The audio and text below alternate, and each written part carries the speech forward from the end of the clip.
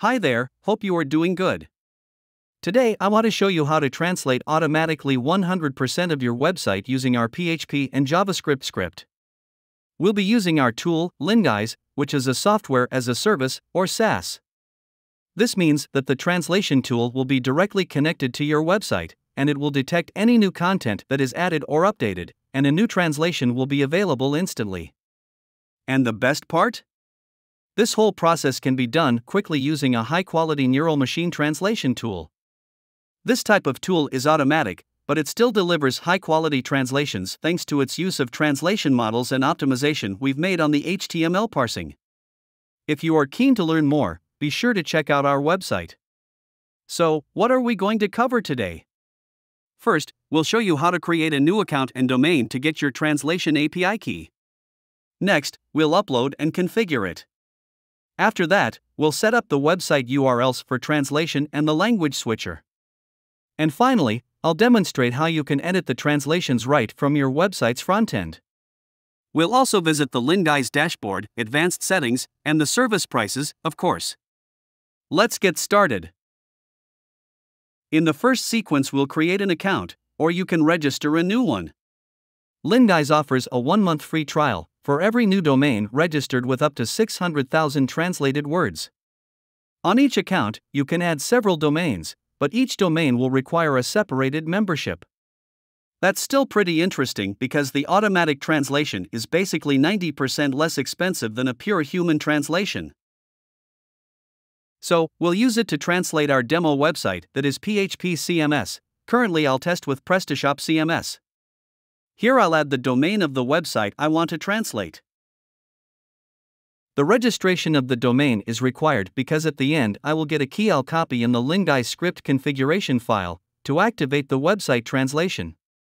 Then I'll select my original and target translated languages. Let's add one more language here, for the example. Currently, there are 84 languages available. Okay, it's done, and when I save the configuration, I have the instruction to install the script and copy the API key. This is what I'm going to do in the next sequence. My domain registration is done on Linguise side. Now I'm going to download the Linguise PHP and JavaScript archive. Here it is, after you'll need to unzip it. My Linguise folder is already here. Whatever CMS you are using, you'll need to upload this script to the root folder where your CMS is installed on your server. This is usually obvious, but it is worth mentioning. You'll find the link to download the script in the description of this video on YouTube. To upload the script, you can use either an FTP client or a server file browser from your hosting company.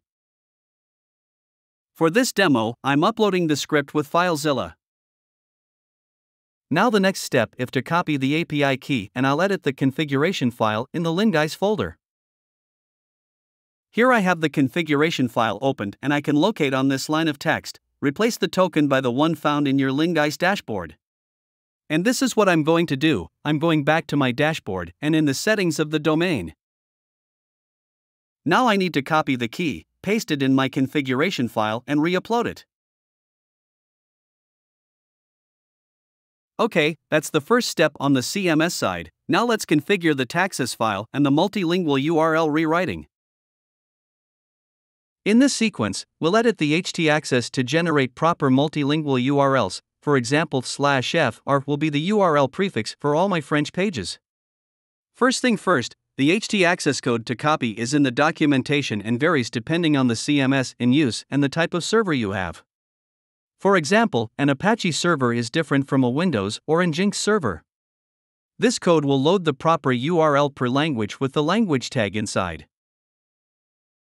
Okay, let's copy this code onto my website. I'll open my htaccess from the hosting file browser and paste it. Alright, my htaccess code has been copied here. Now that my multilingual URLs are set up, the website translation is already active. What's missing is adding the script link to load the language switcher. Basically, a language switcher is composed of a country flag and a language name. It's like loading any external script like Google Analytics. The most important thing to remember is that it needs to be loaded on all your pages. The link to the script to add to your website is available in the dashboard after the domain activation. Here I'm going to copy the script URL from the Linguise dashboard and add it to my CMS admin configuration or in a template file it can do the trick also. Here on this CMS, that's in the template file. See it here. Alright, let's see my language switcher now on my website frontend. See it's loaded here as a pop-up with the flags and the language names. Of course I can change any page language. Let's jump to the next sequence with the language switcher design configuration. In the Linguise dashboard you can set up the language switcher display, the flags, language names. To access the setup use the settings menu, then language flags display. On the right part you have the current configuration preview, like it will appear on your website frontend. You can see the language with flags comes with three display layouts options. Side by side displays all the flags and language names one after another. The side by side layout is pretty convenient if you have a small number of languages on your domain. Let's test another one. Then you have the drop down. Okay, looks like a menu. Finally, there's a pop up option. I think it's better in my case because I have numerous languages. Let's scroll down and check the advanced plugin options. There are many options, among them, we can see the possibility to use alternate flags per language, color, border, mouse hover options, etc. I see this as mainly an option to adapt the front-end rendering to your website design. For the example I'll change from pop-up to drop-down. And let's say use squared flags. Save and it's done. The new layout is instantly applied to your website, see. Now that you've seen how easy it was to make this automatic translation, I'll show you how to edit those translations from the website frontend. I'm going back to my Linguise dashboard. I can check some usage statistics. It's not as powerful as Google Analytics, but it gives an idea quickly what languages are the most used. As you can see, there are many tools here, but we'll get to that in the next sequence. For now, let's focus on the front end translation. Here it's called Live Editor. Let's click on it and select a language. I'll pick French here and loading it. Okay, I have the website open in French, but with the translation tool loaded in the top right corner.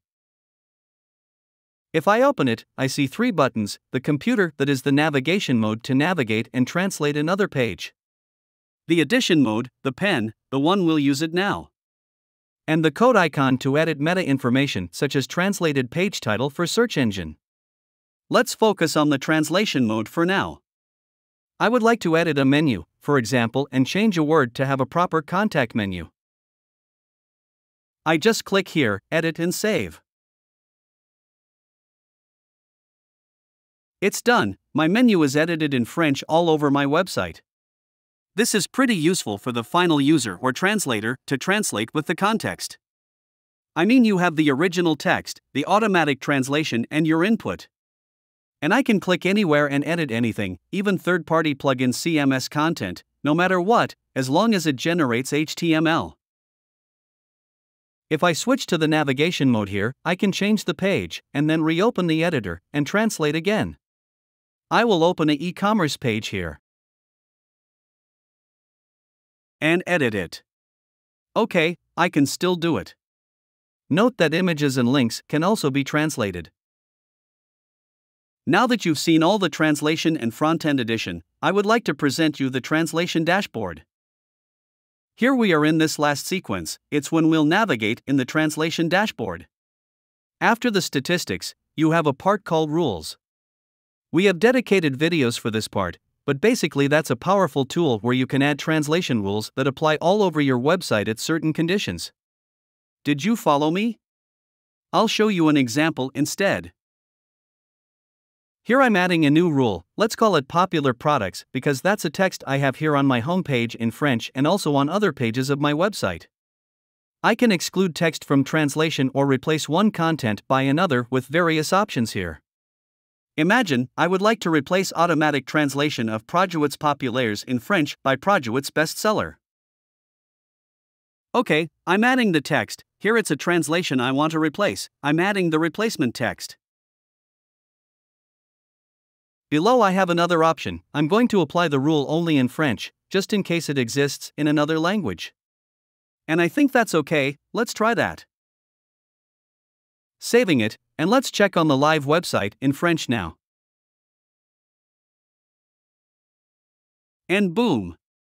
Text is replaced here and everywhere, that's pretty cool. Now, what do I see on the dashboard other than rules? I can also see my translations as a list here and play with filters and edit them. That's a possibility. There is also the URL translation list, same as the translation listing, but only for the URL. And you'll find the translations of the links and the images. Finally, I have the settings, this is where my domain is set up. Note that I can add a language anytime I want, this is the advantage of using a SaaS. As a conclusion, I would like to show you the pricing model. This is based on the translation volume. It goes from 200,000 words to unlimited and from $15 up to $45 per month. This is less expensive with a yearly subscription, and you have one month free per domain as I mentioned earlier. The main advantage of using Linguise's translation tool is that the quality is pretty good considering it's 90% less expensive than a manual translation. Also, new content is always instantly translated and SEO friendly. So, that's also great for business and e commerce. Hope you've enjoyed the video. If you're watching this video from YouTube, don't forget to subscribe to our channel to stay informed about new features and ask us any question using the comments. And of course, you'll find all the useful links we've talked about in the description. See you soon for another video, bye for now.